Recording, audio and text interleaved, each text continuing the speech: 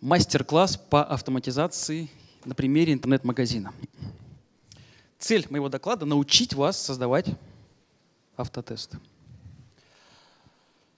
Да. А зачем создавать зачем, автотест? Э, действительно, зачем, зачем создавать автотест? Зачем тестировать? Зачем тестировать? Зачем тестировать интернет-магазин? Э, ну, Мне... серьезно, что вот силы тратить? Раз-раз собрал его и клиенту отдал. Правильно. Зачем? Ответ, ответ уже на слайде, ну и я сейчас его скажу, для того, чтобы в первую очередь повысить удовлетворенность клиента и снизить производственные издержки. Почему? Потому что ручной труд, он дорогой, и, в общем-то, все умеют, э, все умеют тестировать руками, да, и плюсы его тоже весьма очевидны, что быстрое начало процесса тестирования, и, в общем-то, можно оценить удобство работы с интерфейсом, ну, а недостатки тоже весьма очевидны, это человеческий фактор, ну и, собственно, низкая скорость работы. Ну, еще раз, тестировать руками вы все умеете, а сегодня цель у меня научить вас писать автотесты. Плюсы автотестов ну, работают они круглосуточно, бесплатно, и поэтому я рекомендую их использовать. Э, я разделил э, два способа написания либо создания автотестов. Это быстрый и гибкий. Для быстрого способа вам потребуется что? Браузер Firefox, в неправильном порядке написал, браузер Firefox, плагин Selenium IDE, ну и записать автотесты. А для Chrome нету, кстати, плагина, да? Нет, к сожалению, нет. Я не знаю почему. Ну, у Firefox тоже очень достаточно большая аудитория, поэтому вы покроете, я думаю, большую часть прецедентов использования у своих пользователей. Да, будет много видео, извиняюсь, если буду кому-то стоять спиной. Значит, что нам необходимо для того, чтобы начать уже создавать автотесты? Я зашел в браузер Firefox, набираем сейчас э, сайт Selenium HQ, заходим в раздел Download, и там есть раздел Selenium IDE. Нажимаем на ссылку 2.9.0, происходит предложение скачать плагин. Это делается очень быстро, вы соглашаетесь, соглашаетесь еще раз, и, в общем-то, у вас плагин уже установлен. Плагин, еще раз говорю, бесплатный, он готов к работе. Если видео не упало. Кстати, интересно, сколько раз видео упадет у меня. Да, плагин готов. Что дальше? Давайте мы э, создадим наш первый автотест и автоматизируем вот такой сценарий. Просмотр главной страницы магазина, просмотр карточки товара, купим товар, оформим анкету покупателя и оформим заказ. Мы вошли на сайт нашего магазина, вы открываете плагин, по умолчанию запись включена, и вы начинаете совершать действия, которые будут записываться в плагин. Обратите внимание, запись идет сразу же автоматически, добавляются элементы. Жмем «Оформить заказ», заполняем карточку клиента, ну, я здесь ускорил примерно, и покупаем. Наш тест готов. После этого вы можете запускать этот тест много-много-много раз совершенно бесплатно. Давайте его запустим. Что у нас в итоге получится? Останавливаем запись, жмем play, пошел играться наш тест. Обратите внимание, если шаг прошел успешно, то у нас все зелененькое. Я видео не ускорял 10 секунд. Вот этот весь кейс прошел за 10 секунд. Ошибок нет, все элементы у нас на месте, значит, все хорошо, магазин можно продавать. Что делать, если у нас на сайте ошибка? Ну вот я дальше специально скрыл кнопочку «Купить», я уменьшил количество товара, ну, вполне возможно, что ваш разработчик забыл ее вывести, либо из-за ошибки она просто не вывелась. Как отреагирует плагин? Запускаем наш тест, открывается сайт, заходим в карточку товара, кнопки «Купить» нет. Наш плагин загорелся красным. Это означает, что у нас ошибка. Наш магазин не работает, можно писать ошибку Мантис, разработчик ее будет править. Все. Я создал этот тест за 5 минут. По-моему, это быстро, удобно. Но работа с плагином подходит больше для такого, что ли, для создания очень быстрых автотестов, то есть э, на коротких проектах. Если у вас долгосрочный проект, как, например, у нас Bittrex, то я рекомендую вам подумать и... Я просто хотел сказать, что вообще э, вот все вот это выполняет разработчик, когда он собирает магазин.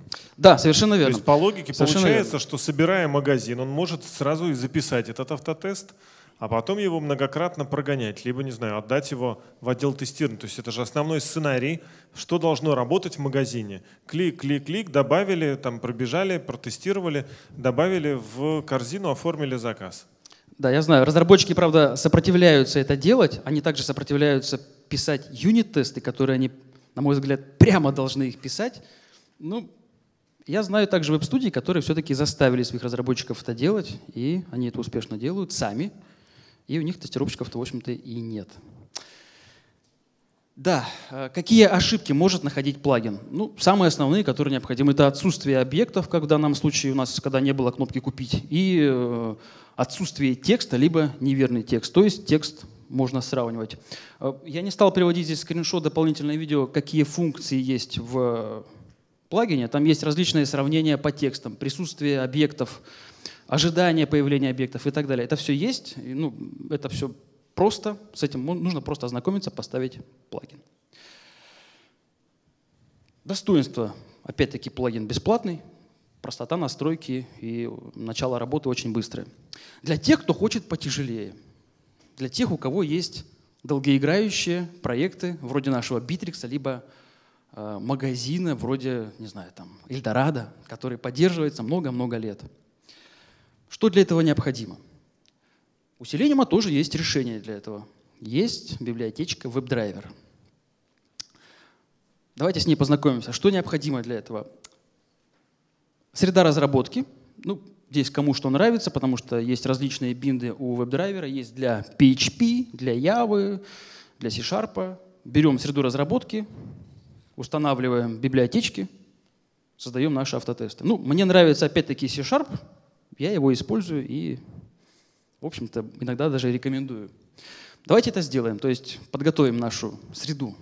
Ставим веб-студию, создаем проект, в моем случае это Windows Form. Дальше я захожу в NuGet, беру, э, ищу Selenium, скачиваются различные библиотеки, не различные, а нужные библиотечки Selenium WebDriver, раз, и WebDriver Support Classes. После того у нас появляются ссылки на наши библиотеки. Все. Практически наша среда готова к разработке. И давайте сейчас по шагам посмотрим, как перенести наш тест из плагина почти в наш уже фреймворк для разработки. Открываем наш тест. Ну, здесь подготовительная работа. Дальше мы э, э, определяем namespace нашего Selenium, говорим, чтобы он э, определяем интерфейс веб-драйвера, определяем интерфейс э, вызова Firefox и говорим, чтобы наш тест открыл URL. Давайте посмотрим, как он это сделает. Скомпилируем, нажимаем «Старт», открывается наш магазин, все, тест начал практически уже работать. Да. Дальше. Давайте посмотрим, что умеет, что позволяет делать веб-драйвер, то есть непосредственно в библиотеках. Он обеспечивает навигацию по браузеру, то есть это взад, вперед, рефреши. Позволяет искать элементы на странице по различным селекторам в доме. По айдишникам, по неймам, по, э, по названию линков. Там выше еще есть CSS-селекторы и по XPath. Позволяет совершать действия над элементами – ну, в частности, самое используемое это клик, да, позволяет он нам еще очистить поля, а остальные действия вам обеспечит, собственно, ваш фреймворк. Например, такие как выбор значений из выпадающих списков. Это нет смысла реализовывать было на веб-драйвере. Давайте посмотрим, как нам перенести клик и заставить нашего робота кликать уже по сайту с помощью веб-драйвера. Э, наш плагин привязался, я обращаю внимание на айдишник, на имя айдишника, его мы и берем. Видео немножечко здесь размыто. Мы копируем значение этого айдишника, можно прямо да, из плагина, вставляем его в код. После этого вызываем конструкцию драйвер find элемент найти по айдишнику. И говорим, чтобы у нас наш робот совершил действие клик. Компилируем, нажимаем на кнопку старт, смотрим, что делает наш робот. Он открывает веб-сайт и совершает клик. Ура, следующий шаг есть. На мой взгляд, это было достаточно просто. Давайте перенесем вообще весь э, тест в наш почти, почти фреймворк для автоматического тестирования. Ну, я просто перенес клики. Обратите внимание, здесь я добавил э, функцию send_case, то есть это будут посланы буквы формы ввода при заполнении карточки клиента. Ну, конструкция похожа. Запускаем, смотрим, как работает наш веб-драйвер. Заходим на сайт, заходим в карточку товара и покупаем его, заполняем опять-таки карточку клиента, все, наш тест отработал. Работает он также быстро, совершенно без задержек, так же, как и э, плагин от Selenium. Дальше. По опыту знаю, и наверняка вы тоже знаете, кто работает с автотестами плотно, что необходимо иметь универсальные объекты. Пример таких объектов. Например, если вы зашли в карточку товара, там у нас были кнопочки плюс-минус, то есть добавить, уменьшить товар – в нашем магазине они формируются по айдишнику товара. То есть, по сути, у нас кнопочки плюс-минус будут уникальные для каждого товара. И мы не сможем запустить, скажем, нашего робота на несколько различных товаров. Нам придется для всех 700 товаров иметь каждую кнопку плюс-минус. Это очень дорого и необоснованно. В этом нам поможет XPath. Ну, вы, наверное, знаете, что такое экспас. Я думаю, что нет смысла это объяснять. Давайте посмотрим, как его перенести и как с этим работать. Работать с этим очень просто. Вот эта кнопочка. Мы смотрим, мы исследуем элемент, и вот как раз вот этот айдишник товара, который нам нужно вырезать. Но нам нужно привязаться к какому-то уникальному тексту. В данном случае это будет quant up. Вот этот текст. Э, сейчас мы его возьмем и будем использовать в XPath такую функцию, как contains. То есть мы будем искать текст, точнее элемент по вхождению. Это лишнее мы убираем. Кстати, в XPath есть много функций. Есть поиск э, подстрок в строках, есть э, поиск э, строки, с которой начинается, с которой заканчивается. Там много есть функций, но по нашему опыту contains — это вообще самая часто используемая функция.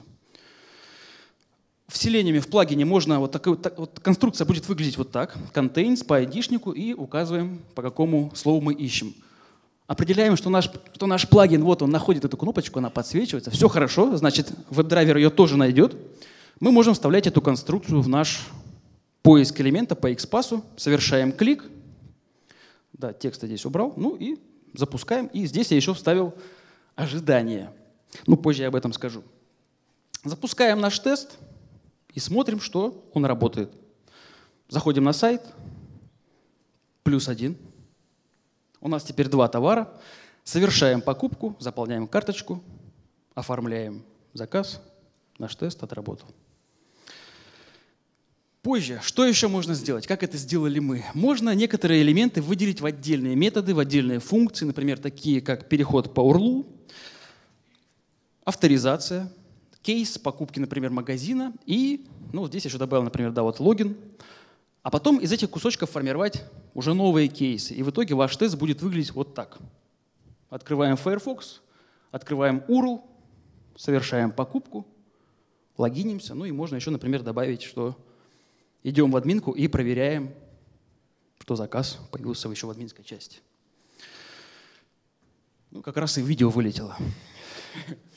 Вот. И последний шаг – это была, можно сказать, подготовка к написанию э, практически своего фреймворка для разработки автотестов, своих более сложных автотестов. Да, Серег, вот это почти вот в конец можно. Слушай, как видишь, настаивает, что не будет исполняться. Да, ну давай сейчас пролистаю еще. Сейчас, секундочку. Да, да, да, да, да. Да, да, да, да. По-моему, уже шестой или седьмой раз вылетает, да, у нас?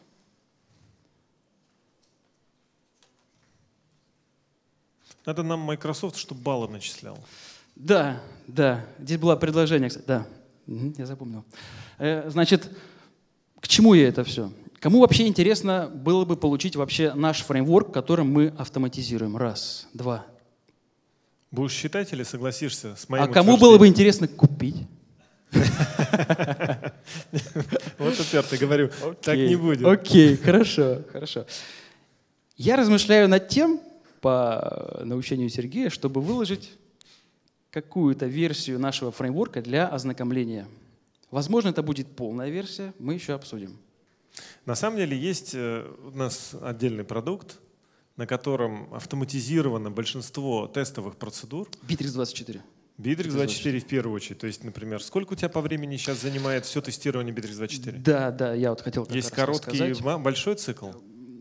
Да, полный цикл, суточный цикл Bittrex 24 всех тестов занимает, мы распараллелили их на две машины, сейчас уже как раз-таки 24 часа. Мы разбили, потому что выходило больше 24 часов, мы приходили от сна еще не отошли, а тесты еще шли, поэтому пришлось. Я, может, немножко ли, лирическое отступление сделаю.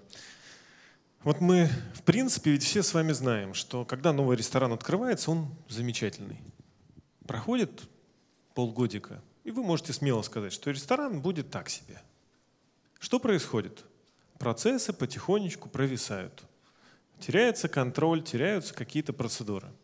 И вообще часть менеджмента состоит в том, наш с вами как руководителей, что если однажды ошибка произошла, нужно ее не просто один раз исправить, а как-то зашить это исправление так, чтобы в следующий раз, например, там чек-лист, там что у вас там, это правильно, это сделано, это сделано, все Совершенно верно. Работает. Именно вот эти автотесты как раз становятся этим чек-листом. То есть как это проходит у нас, я еще раз напомню, как только приходит нам запрос от клиента, вот от, от партнера, например, да, что случилась ошибка, я даю задание своему разработчику автотестов, он заносит этот прецедент в тесты, и в следующий раз большой шанс, что мы его не пропустим. То есть идея как раз в чем? Вот мы, например, допустили ошибку, там выкатили обновление какое-то на B24, в каком-то сценарии что-то проскочило. Наша задача — это зашить теперь в тест, чтобы мы повторно не попались на одну и ту же ошибку. И так формируется целый пакет. То есть не только на ошибках, конечно, автотесты учатся, они просто зашивают стандартную процедуру. И в итоге получается некая, ну, не стопроцентная гарантия, но хотя бы исключаемость повторяемости ситуации. И ты постепенно обучаешь систему избегать одинаковых типовых ошибок. Они очень часто выявляют соседние ошибки, которые там Совершенно связаны. Верно. Или... И не только обучиваем систему, но еще обучиваем новых разработчиков. Как только они приходят мало кто разработчиков, кто участвует в таком цикле э, производства, как у нас, да, поэтому ошибок совершается много. Ну, это просто естественно, это от этого не избежишь. Наши автотесты помогают их обучать. Ну, что говорить там про веб-студии? Посоветуй, говорят, веб-студию. Я говорю, во-первых, мы не советуем сегодня, а вообще, как это? Вот ты год знаешь веб-студию, два знаешь, отлично делали. Потом к тебе кто-то приходит, говорит, что-то они там косячат жутко связываешься с директором, а что у вас там такое? Говорит, там половина разработчиков ушла, а новые еще косячат. Ну, конечно, все косячат, но старых-то ты уже, в общем, более-менее они уже понимают, на какие грабли, что, что ты требуешь.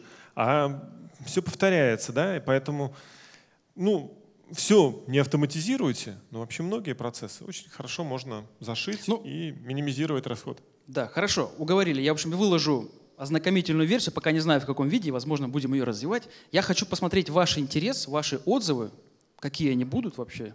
Интересно ли будет это развивать, да? А ты, кстати, не показал нашу версию. Не пока, а там э, она очень техническая, она там, там интерфейс Она на самом деле жуткий. не очень сексуальная, в том смысле, не супер интерфейс, там не какие-то эти, но отлично да, работает. Да. Она заточена, дело в том, что именно под наш продукт там нет каких-то универсальных кнопок, что запустить именно магазин. Ну, в общем, Будет, будет. С тебя пост. Хорошо. И ссылка. Хорошо. Вывод. Теперь вы умеете создавать автотесты. Я вам пообещал фреймворк, он у вас будет. А я вообще, мы с тобой договорились, ты ссылку дашь, и можно будет закачивать сегодня. Подожди секунду, я подготовлю красивый пост. Сейчас пишу. Как ты обещал ссылку дать сегодня. Ссылку сегодня. Я его вторую партнерку уговариваю отдать этот тест. Он как... Тушинский сопротивляется. Ну, вроде бы уговорили, все хорошо. Выводы. Коллеги, внедряйте автотесты. Выгода от них очевидная. У меня один тестировщик-автоматизатор, один, он заменяет, я, я, надо почитать, сколько людей ручных. Например, вот кейс... Э, а цер... сколько в отделе у тебя? Пять. Со мной шесть. Пять? Шесть человек? Да. И мы тестируем все продукты Bittrex. Все продукты Bittrex. Ну, действительно, большая часть, большая заслуга это действительно автотест. Это, это факт просто. Ну, Автотесты зарплату получают большую. Они, дело в том, что они не получают зарплату. Ты так думаешь? Они работают круглосуточно. В том, Я за них дело. получаю. Да. Внедряйте автотесты, они вам помогут, они удешевят ваше производство и повысят удовлетворенность вашего клиента. Ну, Окей. все. Если есть вопросы, пожалуйста. Пожалуйста, вопросы. Так,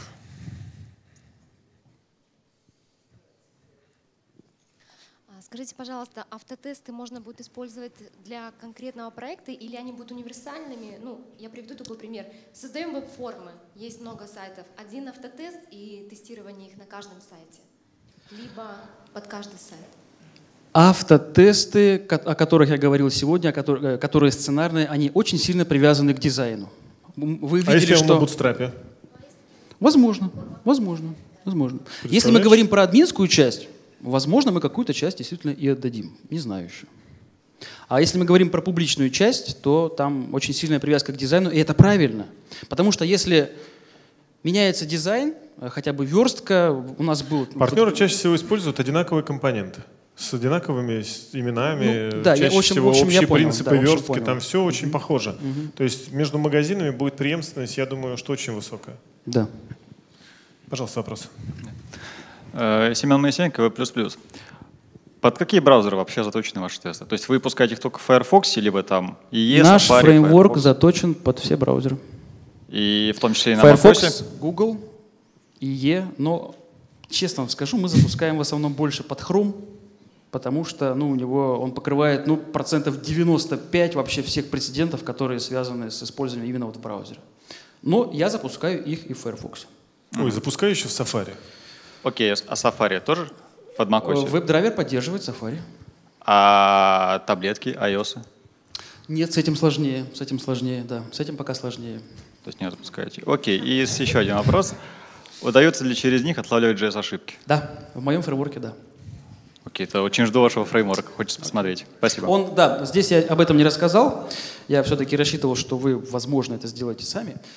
Фреймворки, которые есть у нас, что он делает? Он отлавливает JS-ошибки, варнинги, фаталы, ну вот все такие, все, все ошибки, которые есть у нас в тексте, ошибки базы, то есть это все ловит.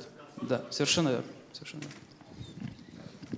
А как насчет тестового окружения? Потому что если мы на реальном проекте будем запускать все время тесты, мы будем засорять базу всякими лишними заказами, какими-то действиями ненужными. Как- Очистка, совершенно очистка. У нас перед, перед каждым запуском теста у нас свой тест, по сути, каждый, а он, он автономен. То есть как только, например, мы тестируем процесс создания лида, мы подготавливаем тестовую среду. Это избежать никак не удается.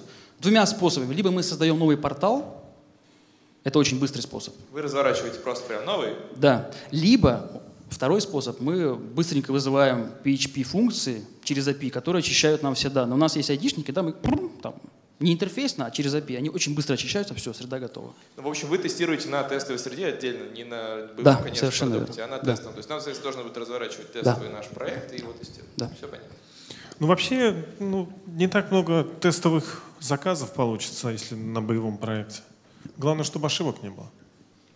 Да. Еще один вопрос. А у вас есть какой-то этап сборки проекта? То есть сборки проекта, ну, там минимизация файлов, чего-нибудь, что в итоге может повлиять на тесты. То есть вам в итоге нужно подготовить ваш проект, пересобрать его и только потом запускать тесты, потому что при этой самой подготовке могли появиться какие-то ошибки. То есть не Просто просто говорите, его- наверное, про continuous integration. Да, Да. что- да есть, Ровно про это я и есть. говорю. Я хотел рассказать об этом, э, как он у нас устроен, либо на этой партнерке, либо, может быть, на следующей. Есть, мы это используем. Он у нас не такой, там, как, э, я, к сожалению, забыл инструмент, который есть очень популярный для continuous integration. У нас он свой. Я Ну, там есть, на самом деле попросил их э, не просто хвастаться, а дать какой-то практический Да, инструментарий, да. который бы подошел и вы могли использовать. Поэтому, Давайте вы напишите мне, мы с вами пообщаемся. да вы за еще Окей, пообщаетесь. хорошо. Спасибо. Мгм. Спасибо. Пожалуйста. А вот еще такой вопрос. А, а можно ли как-то э, использовать эту штуку для того, чтобы отслеживать работу э, контент-менеджера? Ну, например, там, они создают картинки и э, ну, наполняют сайт и так далее. Потом я запускаю тест, отслеживаю время э, загрузки страницы через этот тест. Вот можно вот такие вещи делать? Там, и смотреть, э, картинка есть или нет ее на странице. Там, вот, например, если интернет-магазин, там же, ну, грубо говоря, карточка товара, она везде по одной и той же структуре. То Я есть понял. пробежаться по всем страницам. Да, я понял. Можно. Да. Можно отслеживать отсутствие картинок, что они не загружаются. Наш фреймворк это тоже умеет. Но если ваш контент-менеджер набил неправильно текст, то... Мне кажется, он вообще на все согласен, готов сказать «да». Ты не умеешь говорить «нет». Конечно. Я пропустил. Почему смеялись? Так, ну что, спасибо большое. Спасибо, Олег. Да, пожалуйста. Спасибо, что тестируете продукты, делаете это системно.